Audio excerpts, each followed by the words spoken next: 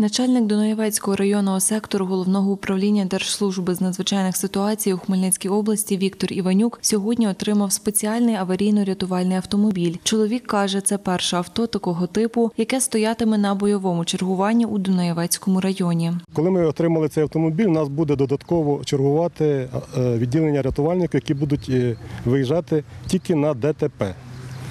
А останні будуть виїжджати на пожежі. Ми будемо перекривати дорогу від Дунаївців до Єрмолинців в одну сторону, і від Дунаївців до Кам'янця в другу сторону, також до Новоушиці і до Чеміровців. Нові автівки отримали і Шепетівський та Волочиський райони. Як обирали, куди саме передати рятувальні машини, розповів заступник начальника головного управління Держслужби з надзвичайних ситуацій області Андрій Козак. Ми робимо акцент на дороги державного національного і міжнародного значення, де найбільша скупченість дорожньо-транспортних пригод. Але це не говорить про те, що ми не вийдемо на дороги місцевого і районного значення. При виборі місць дислокації, майбутніх місць дислокації е, цих автомобілів вважалося розташування пожежно-рятувального підрозділу найближче до е, дороги національного або міжнародного значення, які можуть на ці дороги виїхати в- кратчайші сроки Начальник аварійно-рятувальної частини Олександр Борисенко розповів, ці авто призначені для проведення рятувальних робіт, ліквідації наслідків ДТП, надання домедичної допомоги травмованим та показав, чим вони оснащені.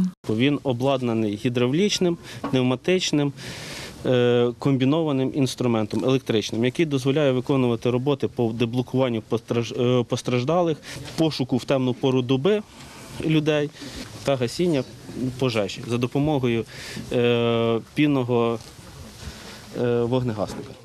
Гідравлічний домпрат, е, гідравлічні ножниці, гідравлічний режим, комбінований е, домкрат.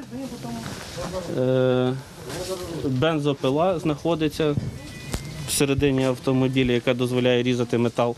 Також е, на оснащенні даного автомобіля знаходиться дискова е, ручна пила та е, шабельна пила. Також на оснащенні знаходяться дві гідравлічних подушки, які дозволяють виконувати роботи по підніманню будь-якого елемента конструкції, який нам необхідний на висоту.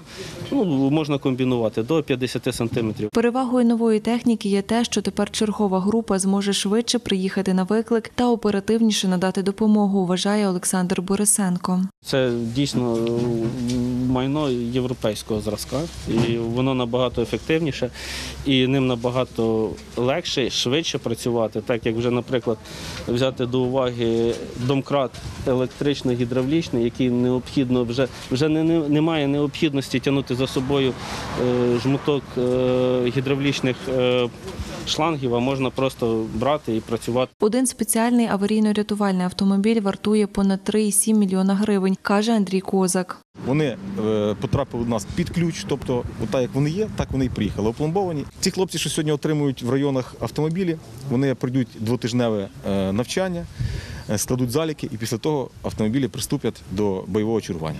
Загалом у 2020 році рятувальники Хмельниччини отримали сім пожежних авто на суму понад 35 мільйонів гривень та 9 спеціально аварійно-рятувальних машин, які вартували більше 30 мільйонів гривень, зазначає Андрій Козак. Катерина Шевчук, Олександр Горішевський. Новини на Суспільному. Хмельницький.